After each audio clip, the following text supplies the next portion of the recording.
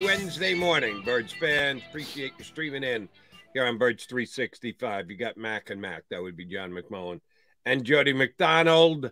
Good to see we've got the uh, comments back on our uh, StreamYard feed today. Uh, looking forward to hearing from some of you diehard Birds fans some of you knuckleheads who check in too and uh, a little off the wall. Uh, I, I, at least like to see where you're going to go on a day in day out basis. We had StreamYard issue off the wall, yeah. Couple sometimes. couple guys are sometimes. a little off the wall, but I yeah, like that. Uh, appreciate their offbeat. Outlook. As long as they like it, like the show. I don't care. Right. Yeah, you can write whatever the hell you want and take yeah. pot shots at me or John or anybody else or any of the Eagles or coaches or players or whatever else but make sure you like the show. That's that's a key. You, you got to at least give us our props, even if you vehemently disagree with something we say. And we'll do it again for the next three hours here on uh, Birds 365. All right, Johnny Mac. Coordinator talk is the main topic around the Eagles these days, understandably so, because they got two major vacancies to fill with uh, Jonathan Gannon and Shane Steichen both going out the door. And we found out yesterday they had already interviewed a couple more candidates uh, Chris Shula from the Rams and uh, Jesse Minter from the University of Michigan, their defensive coordinator. So they've uh, interviewed three. They've got two more at a minimum that are coming in from the outside to interview, including Vance uh, Joseph today being virtually interviewed. And we talked about that plenty yesterday. By the way, that already started. That started yesterday. So they were a day behind. So uh, evidently, Vance met with Nick Sirianni yesterday. Today is going to be Jeffrey Lurie, Howie Roseman. So the original report was uh, Wednesday, Wednesday Thursday. Thursday. Yeah. So now it's Tuesday, Wednesday. So okay. We'll so they're in, in that process already, and they haven't met as far as the reports go. You tell me different again. If I got wrong, Deshaun Desai, um, someone they want to interview and want to talk with. Uh, don't know if they've accomplished that just yet. Here's my first question of the day for you, John. Um, when both Sirianni and, and Gannon uh, walked out the door to become head coaches, uh, two immediate guys from the staff rose up the charts to become the top internal candidate, um, one on offense, one on defense. They've already talked to at least four guys on the defensive side, probably a fifth. Who knows? Even more. You don't know when you know they would like to get a hire done before the combine, which is the end of next week. So there's there's a quasi timetable on it. And as far as you've reported or any of your other good Eagle beat guys, they've interviewed exactly zero external candidates for the offensive coordinator position. If you're Dennard Wilson, are you like uh, get up in the morning and shrug and go, "What the hell did I do wrong? Why, why did I have to bring in all these guys for uh, defensive coordinator position when they're just kind of twiddling their thumbs on the offensive side, getting ready to hand the job to somebody on the staff?" Yeah. What's Dennard Wilson saying to himself these days? Probably same thing you're saying. Probably, you know, aware that he's not sort of as locked in as uh, uh, Brian Johnson is as the offensive on the offensive side. I mean, there's not many other ways you can take it. Um, I know a lot, you know, you know the immediate and and as i said I, I don't necessarily disagree with it is the interpretation that you know not being sure on the internal candidate which would in this case be dennard wilson you know they'll tell you you got to take advantage of this situation to pick people's brains and you know it's a rare opportunity to hear about uh, schematic theories and all that. Well, you know, why aren't you doing that for the offense? Exactly. And maybe you, can, they you are. can't tell that line of thinking yeah. if you're only doing it on one of the two sides of the ball when you have openings on both sides. Yeah. So, I mean, if you're asking, and, all this is is opinion and speculation, obviously, because as I mentioned earlier in the week, this is sort of the last bastion, the unknown sort of mm-hmm. in the NFL world. And you don't know how guys are thinking really. Um, and in this case, it's Jeffrey and Howie and Nick. Um, it, it's pretty clear. And the first indication was they were willing to pay Jonathan Gannon, you know, head coaching money to come back.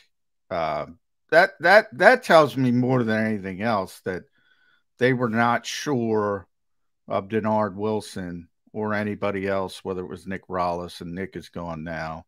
Uh, they weren't they weren't as concrete with those guys as as you know Brian Johnson or even Kevin Patullo on the offensive side. That's what it tells me. Um, and and more than the interviews that that that because remember that's coming off the Super Bowl where everybody's jumping off buildings and setting their hair on fire, and that's the worst defensive coordinator in the history of the world, and blah blah blah. And Jeffrey Lurie says, "Hey, I'll pay you to stay." Um, essentially as much as the Cardinals. I think that tells you all you need to know, to be honest. I I know where you go with that, and pardon me if I'm the glass half empty guy. Again, if you're Shane Steichen, how do you feel? The, both are up for uh, coaching positions, head coaching positions elsewhere. Interviewed for the uh, spot again. Uh, Steichen ahead of the curve because he interviewed for the first time prior to the Super Bowl even being played. Gannon waited till after the Super Bowl for his first and I guess winning interview with the Cardinals because he got the gig shortly thereafter. Does Shane Steichen say to himself, "Wait a minute"? Why didn't you offer to pay me head coach money to stick around and stay as the offensive coordinator? You went to pretty good lengths to at least try and keep John. It was like wave to me as I go out the door. Shane, good job. See you later. Good well, luck, bud. No. Glad we're not paying from, you. I think from Shane's perspective, you know, he's got bigger issues to worry about. Number one, but number two, offensive versus defensive coach. The head coach is an offensive guy. So I mean, it's his offense, it's his scheme, it's you know, Shane Steichen's doing what what what Nick wants. And as much as Nick gets involved, and he gets involved more than most coaches in you know the defensive side, the, he'll, he'll admit that's not his expertise. That was Jonathan Gannon's beatdom. That's how it works. I mean, when Doug was here, Jim Schwartz, hey, check in every once in a while and do what you need to do on the defensive side. So when you have an offensive head coach the other side's more important and vice versa. If you had a defensive head coach, the offensive guy would be more important. That's sort of that's sort of baked into the the whole thing. So, you know, the Eagles have proven, you know, they Jeffrey Jordan, the Jeffrey Lurie era, his first hire was a defensive guy, but ever since then, he's he's kind of readjusted himself and realigned himself and realized, you know, the best way to win the modern NFL. And he's not wrong. You, you got to worry about the offense first and foremost.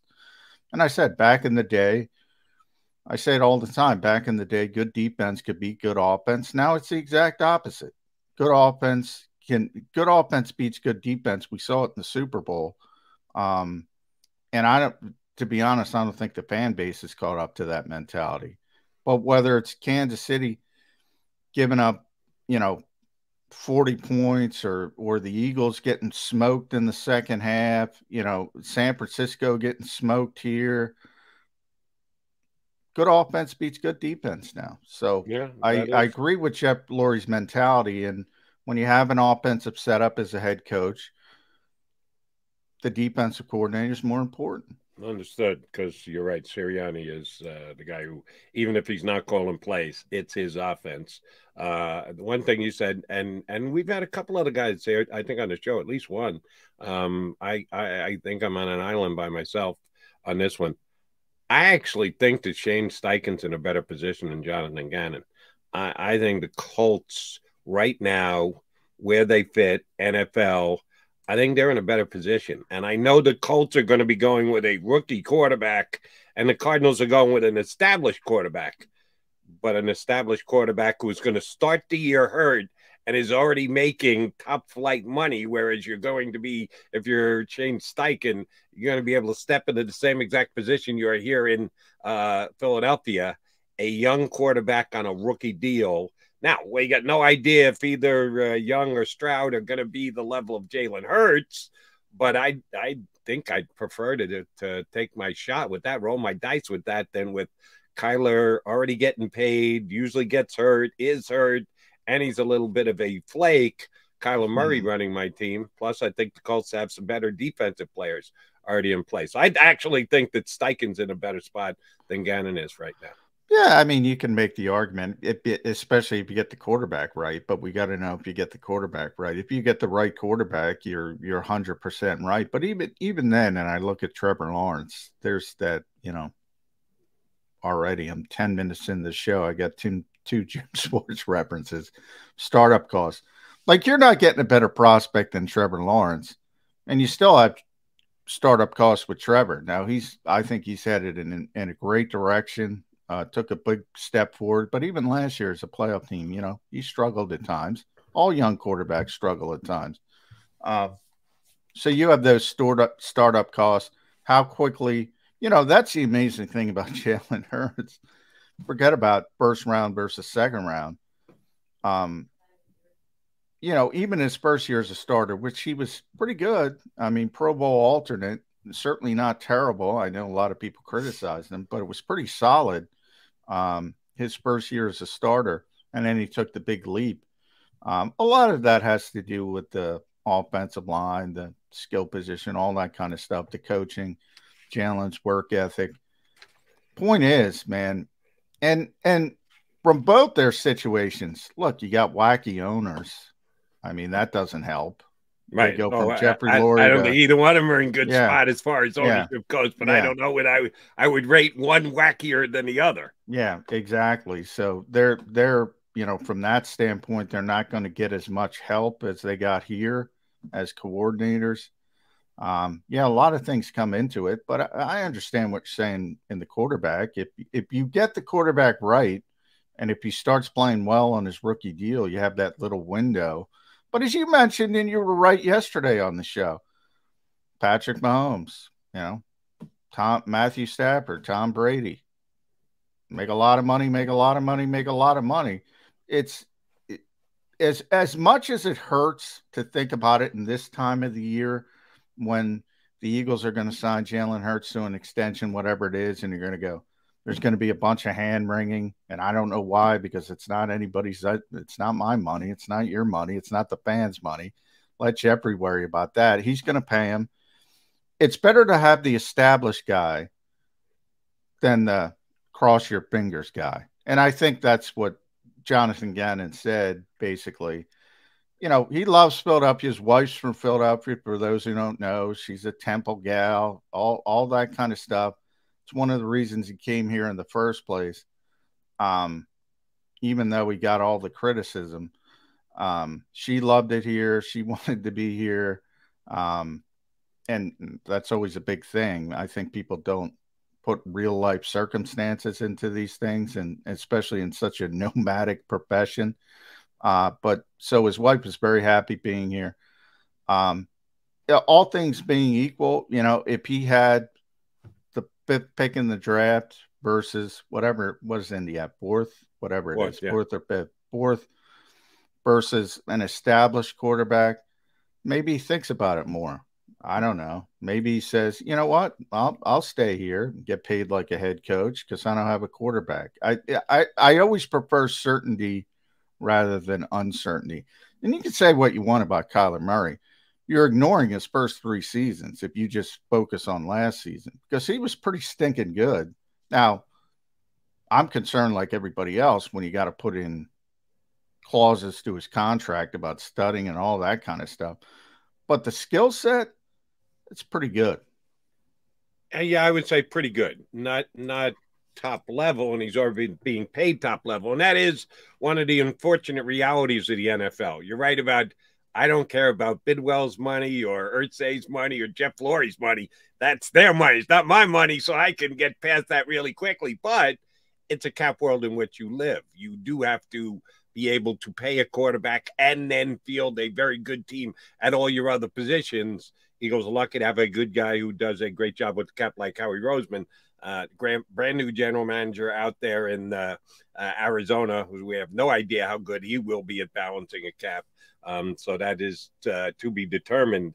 Um, I made the point yesterday about the last three Super Bowl winners being quote unquote veteran quarterbacks making top of the money.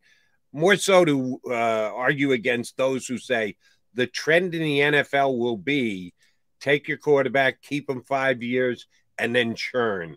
Turn it over. Get your next rookie quarterback. Don't even bother. Not realistic. I say that. I think about it, Jody. It's not realistic, though. It is. It's not realistic because even if you hit once, you're not going to hit it again and again and again and again. We see, I, I mean, we see the development of quarterbacks and – I call it the college mentality. Just reload, and you're you're able to build up around them better. You are able to build up around them better. But if the quarterback can't play, the quarterback can't play. I mean, and and the thing, oh, to use Jalen Hurts as an example, we're going to draft the next Jalen Hurts. Well, good luck with that. You know, good luck with that. Uh, and you, you see the quarterbacks drafted in front of them.